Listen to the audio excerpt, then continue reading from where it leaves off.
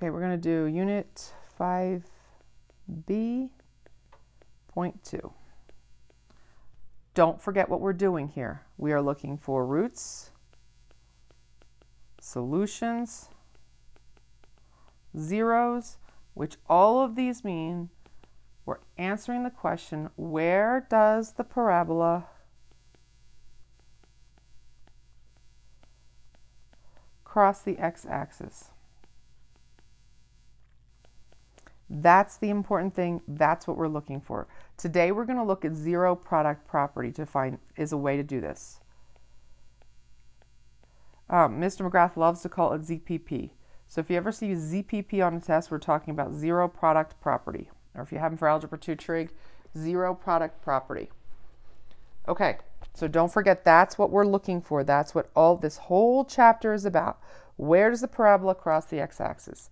So in order to do zero product property, we have to factor first. And so if you don't know how to factor equations, and a lot of you really weren't quite there, we're going to get some more practice and you need to learn it. I'm going to keep saying it. If you got a lot of those wrong on the test, you need to go make sure you understand how to factor. So here are the steps for factoring, and we're going to take it a step further, and we're going to go to zero product property.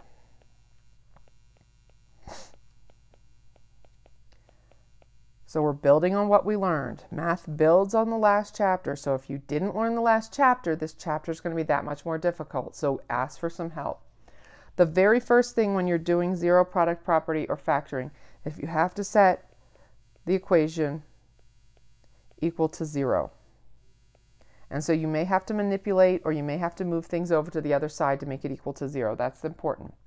Second, this is where a lot of you got problems wrong on the, on the test. You, for, you need to look for the greatest common factor before you start factoring. Factor off the greatest common factor, and a few of you got those problems wrong on the test.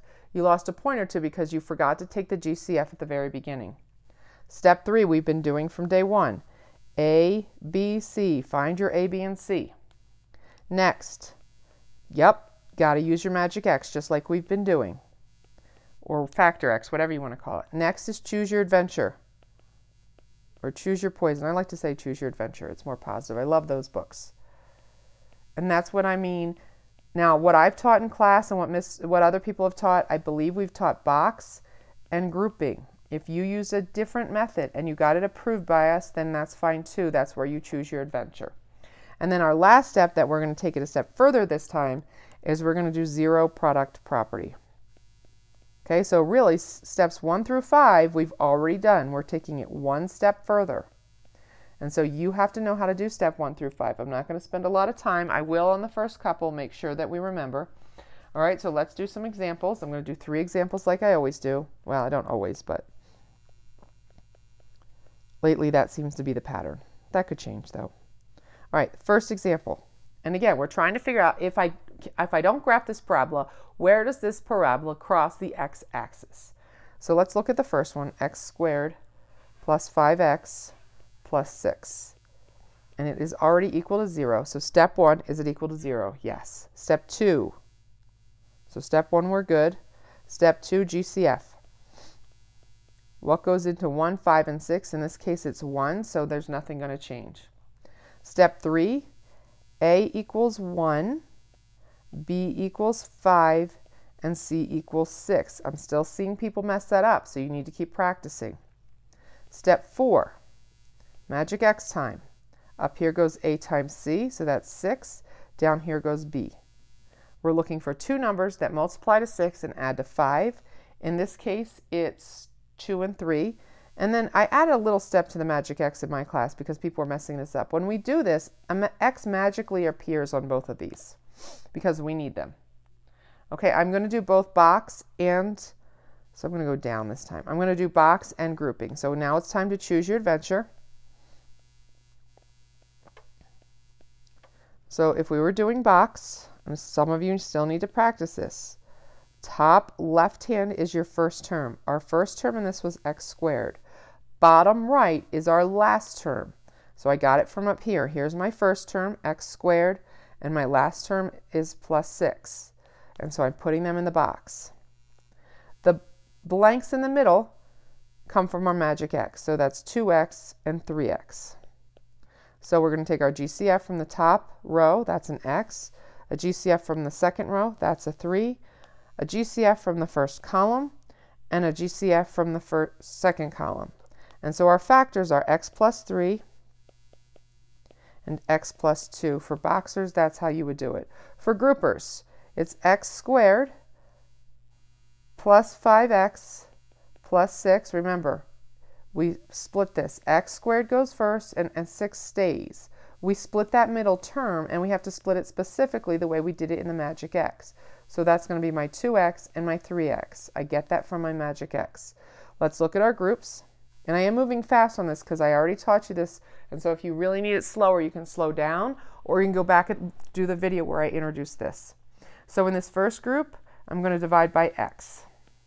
So what does that give me? x on the outside and x plus 2 is left on the inside. Okay? In the second group, I can divide by 3.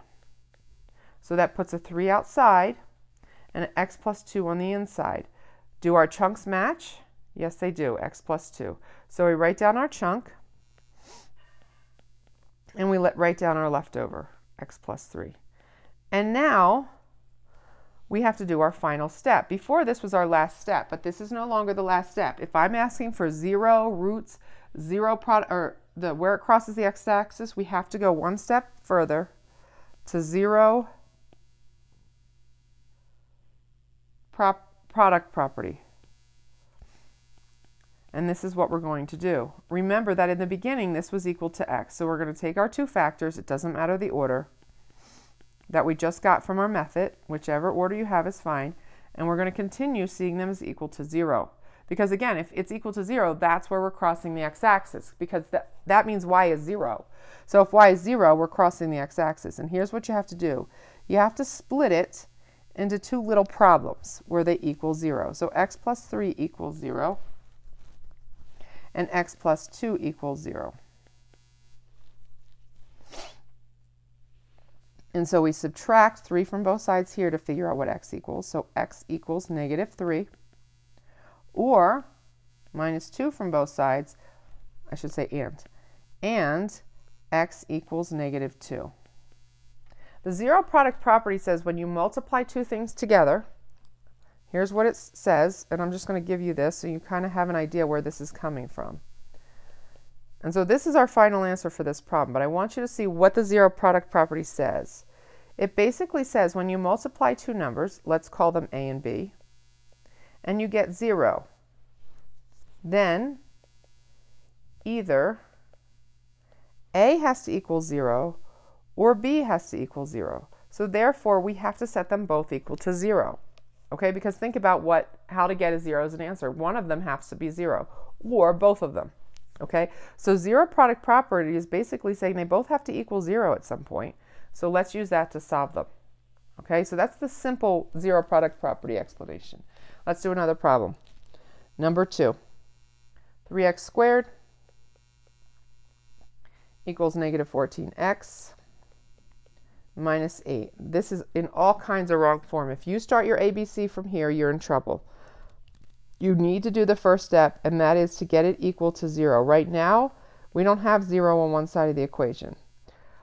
I am going to, I don't like my lead term to be negative. That confuses me when I go to factor. So I'm just going to add 14x to both sides. So now I have 3x squared plus 14x equals negative 8. Whoops, I forgot my x. And then I'm going to add 8 to both sides. Now you could do this in one step. I'm just showing it the whole step. So now I have 3x squared plus 14x plus 8 equals 0. Now I'm in the right form. And I really don't like my lead term to be negative, so I make sure I do it in such a way that that doesn't happen. Oh, next step, step 2, is going to be GCF. Let's look at our GCF. I almost forgot GCF. It's important to always check for that. Is there anything that goes into 3, 14, and 8 besides 1? Nope, so this is where we're stuck. So th step 3 is your A equals 3, B equals 14, and C equals 8. Magic X time. So this is 24 up here because it's A times C. And this is B, which is 14. And I got 12 and 2. Okay, next step is going to be choose your method. And I'm not actually going to do it this time. Um, you need to do this now. I would pause the video right now. And if you can't do step five, you need to get some help, whether it's through the video, with a parent, ask Miss Sally, ask myself, ask Mr. McGrath, Mr. Wells. You need to figure out how to do this step. Once I've done this step, here are the factors I got. I got x plus 4 and 3x plus 2. So if you didn't get these answers, you need to go back and figure out what you did wrong. And then step six is zero product property. So how do I do zero product property? I take the, the factors together and I equal them to zero, which means the first group has to equal zero and the second group has to equal zero. So we're going to split it up. x plus 4 equals zero. And 3x plus 2 equals zero. The first place this parabola is crossing the x-axis is where x is negative 4. The second place this is crossing is going to be at a fraction. That's okay. That's going to happen and that's going to be at negative 2 thirds. So how do I write my answer? The shortest way is to do negative 4, negative 2 thirds. That is where my parabola is crossing the x-axis. Let's do one more. For those of you who need one more example, number 3. 10x squared plus 5x equals 5. Again, first step. This is not equal to 0. This one's a little simpler than last time. We just need to move that 5 over, so I'm going to subtract 5 from both sides.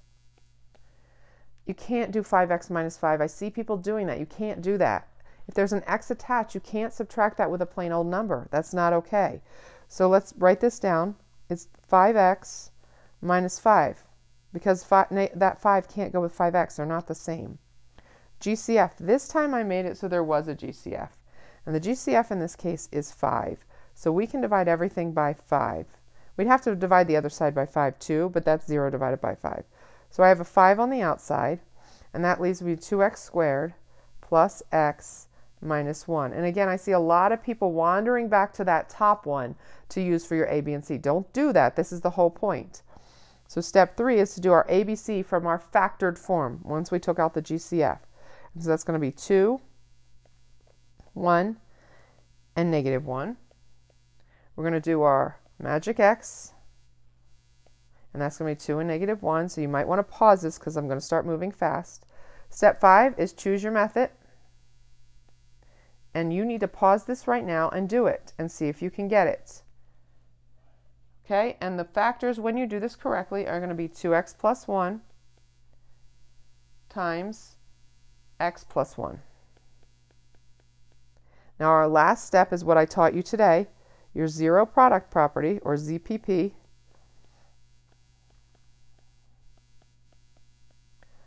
You're going to set this back equal to 0, your factors back equal to 0, because that's what it was originally before we factored. Remember, factoring is unfoiling, so it means the same as what we had at our first step. And we're going to split them up. Now, we do have a 5 out here from our GCF, but that's not going to give us a solution because 5 doesn't have an x on it. So we can just leave that off for now. 2x plus 1 equals 0 x plus 1 equals 0. I subtract 1 from both sides. 2x equals negative 1. Subtract 1, subtract 1. x equals negative 1 over here, so we know our first solution. We're not done with this one. I don't know why I switched over and started that one. So x equals negative 1 half. Here's my second solution. You can write it like that or as a number set. I do want to show you one more example. And this is one you'll see on the test. Let's say I've already factored it and I just asked for a solution and it looks like this. We can split this up. This means x times x plus 2. So it's going to be x equals 0 and then x plus 2 equals 0. So that case means our answer is 0, negative 2. This parabola crosses at 0 and negative 2. So you're going to see one very similar to that on the test. I hope it's not the exact one. It could be. So those of you who watched and paid attention, this will be a good one to see because you're going to see it on the test.